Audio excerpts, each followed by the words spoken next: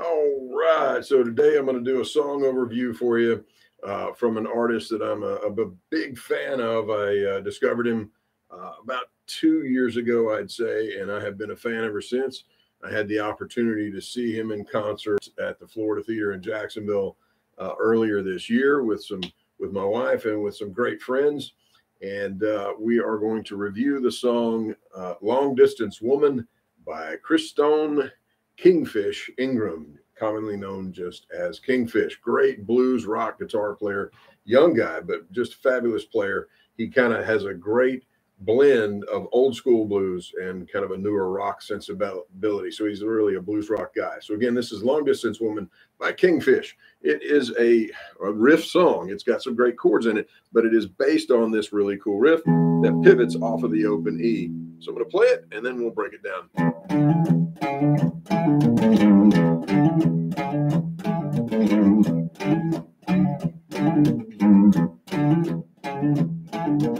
Right, so that's the main riff. Again, I was saying it pivots off of that open E. All right, so I'm going to get open E, a hammer on from D to E on your fifth string. That's fifth fret, seventh fret.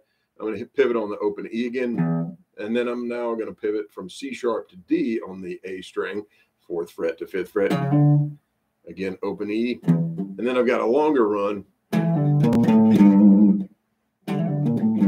now you can just do a pull off here from E to D, and then you can go on the sixth string, B flat, sixth fret, A, fifth fret, and then G, third fret, and I'll add a little vibrato.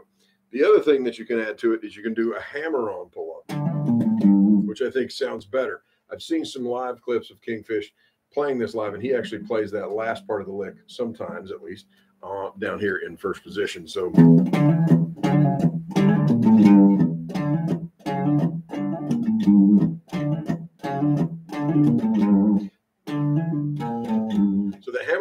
12 means I'm starting with the D on the fifth fret, hammering on the E, and then pulling back off back to the D, right? On the A string.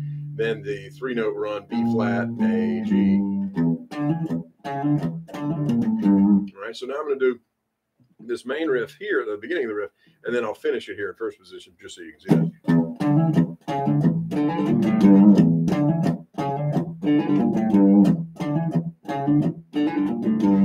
Right, so that's got a certain ring to it when you open uh, add an open string. Gives it a different sound. Just a slightly different sound. Just because the open string rings a certain way. It's got a certain kind of uh, uh, pattern to the sound, I guess you could say. All right, so that's uh, the main riff. Then we've got uh, an E5, E power chord.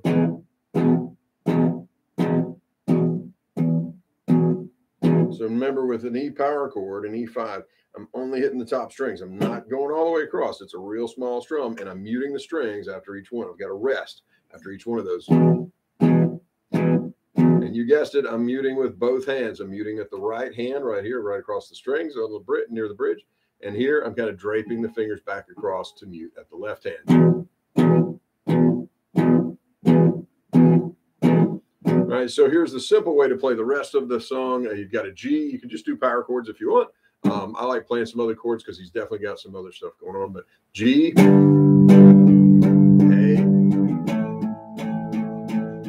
C,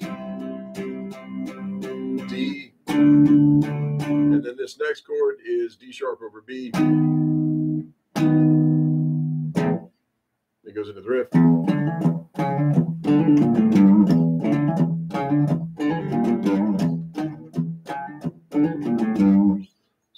G,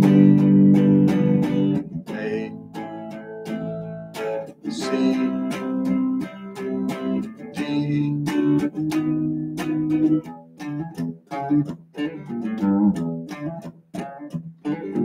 What a super cool song. Check that song out. That's enough to get you started on it. Come back and see me. We'll keep on working on it and get the finer details, get it all worked out. Have fun with that. Talk to you later.